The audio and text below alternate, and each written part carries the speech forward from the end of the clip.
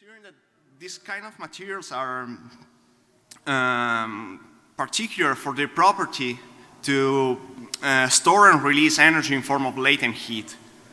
So they do so uh, with, with the change of state. So they pass from uh, a solid state to a liquid state and reverse, absorbing and releasing heat. So, uh, so you can imagine to, to be effective, this, this whole process has to be uh, repeatable every day. So the surrounding condition have to make possible the, the cycle. So they have to, the, the material has to melt or solidify during the hot, uh, to melt during the hotter part of the day and solidify during the coldest part of the, the day. And so the cycle can be repeated again and again every day.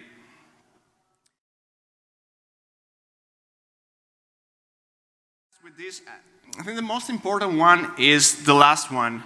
The, some researcher already uh, proved that 2.5 centimeters of phase change material can uh, equal the thermal mass, so the thermal inertia of 42 centimeters of concrete.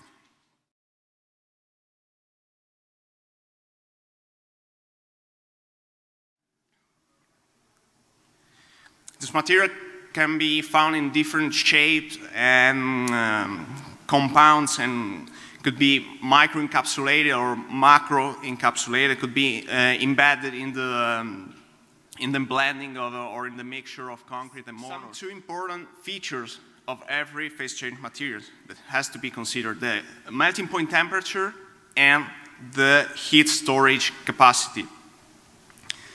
Melting point temperature is the temperature where when the material undergoes phase change, so it's when the material is active and it's uh, actually working towards uh, an improvement of the indoor comfort. And the heat storage capacity basically means how much this process can last.